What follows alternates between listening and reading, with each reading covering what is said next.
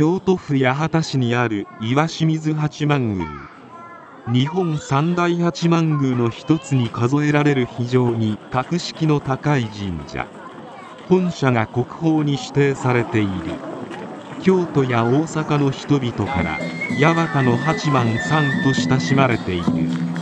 お本殿は男山の山上にあるため京阪電車岩清水八幡宮駅のそばにある男山ケーブルを利用して向かうことになる。徒歩でも山上まで行ける。岩清水八幡宮の節分行事は2月3日直前の日曜日に開催されるため1月下旬頃になることが多い。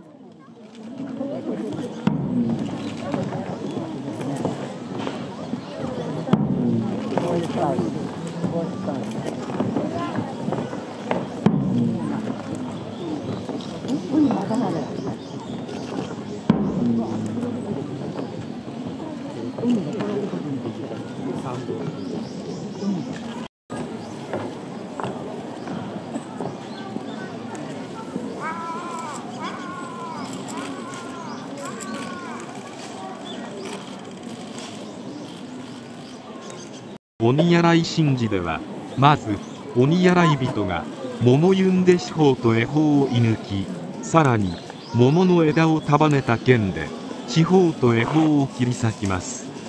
その後に現れた赤や緑の鬼たちに鬼洗人が鬼野郎の掛け声で豆を投げ当てると弱った鬼たちは退散していきます。それが終わると豆まきが行われる。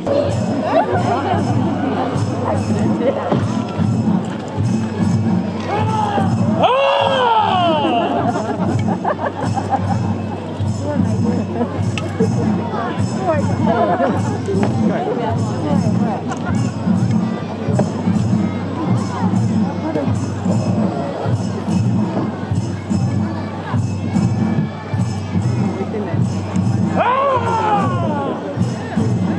のがまた赤いの来て赤